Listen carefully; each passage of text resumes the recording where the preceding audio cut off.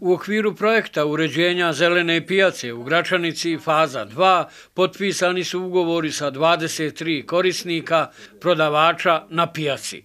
Ovo je bio preduslov za početak realizacije ovog projekta.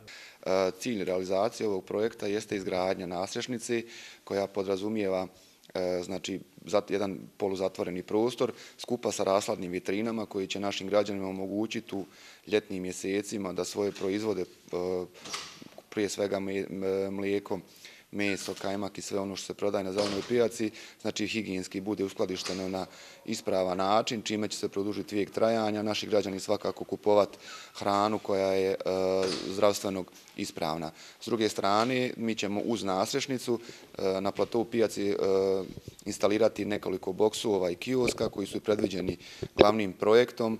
Ne sve, s obzirom da je predračunska vrijednost za komplet E, boksove negdje oko 350.000 maraka. U ovoj fazi ćemo poredati šest komada koji se u principu e, nastavljaju na tu nasrešnicu s te strane i mislim da ćemo u ovim projektom e, definitivno poboljšati položaj ljudi koji rade na zelenoj pijaci, ali i omogućiti našim građanima da kupuju proizvode koji su zdravstveno ispravni. Ovo je nastavak aktivnosti uređenja zelene pijace u Gračanici kako bi se ona dovela na nivo koji zadovoljava sve propisane uslove. Radi se jednom projektu koji je podržan od EI4 Agrija, dakle, projekat koji podržava ili implementiraju UNDP i razvoj, Češka razvojna ambasada, projekat koji je vredan 171.000 od toga ovaj EU4 Agri oni ovaj, finansiraju 127.044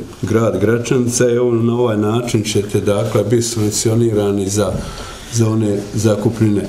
Nama je posebno drago što se ova naša zelena pijaca uređuje i stvara određene preduslove zaista da bude jedan pravi objekat i kupci i prodavači na zelenoj pijaci u Gračanici uskoro će dobiti puno bolje uslove. Prodavači za rad, a kupci robu koja je izložena na higijenski potpuno prihvatljiv način.